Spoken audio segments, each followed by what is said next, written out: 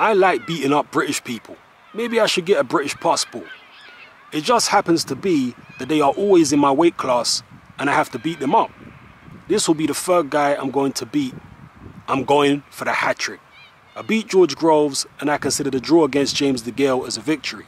To be honest, I think I've got more British fans than I do Swedish fans. I love the UK and I'd love to fight there one day.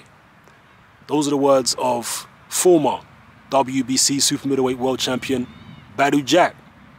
He's talking ahead of his fight at light heavyweight on the weekend against the WBA regular champion Nathan Cleverly, another British fighter. What do you feel about this, people? I mean, when you read the headline initially, you're thinking that Badou Jack's being disrespectful, but I guess he's just being humorous and whatnot.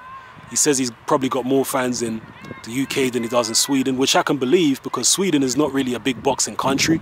Until a few years ago, boxing was actually illegal in Sweden. They banned it for, I think, several decades. So it's not really a big boxing country, and Badou Jack had to leave his native Sweden and go to the United States to pursue his boxing career. And in the fights that he had with George Groves and James DeGale, he would have certainly gained a lot of respect from the British boxing public.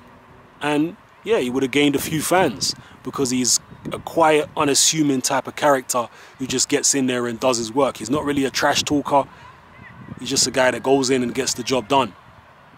So he's definitely got a fair amount of respect from a large portion of British fans and uh, he says he'd like to fight in the UK one day. It'll probably happen. As far as his fight against Nathan Cleverly for the WBA regular belt, as most of you probably know, I'm picking Badou Jack to win the fight. It's not like I think Cleverly's got no chance. I think it will be a good fight. Cleverly's tough. He's durable. He throws a lot of punches. But I just feel like Badou Jack is the guy with the quality. And it's happening on the Mayweather undercard. So unless Cleverly really puts a hellacious beating on Badou Jack, I can't see him holding onto his belt. Can't see it. I see Badou Jack winning the fight and maybe cleverly sensing that he needs a stoppage might leave himself more open and vulnerable to being stopped himself. That's what I suspect might happen. Perhaps late on, if a stoppage is going to happen, I'd say Cleverly might get stopped late on. But I'm still going for Badou Jack to win the fight on points. Anyway, let me know how you feel about Badou Jack's comments here, people. How do you, uh, you know, how do you take them?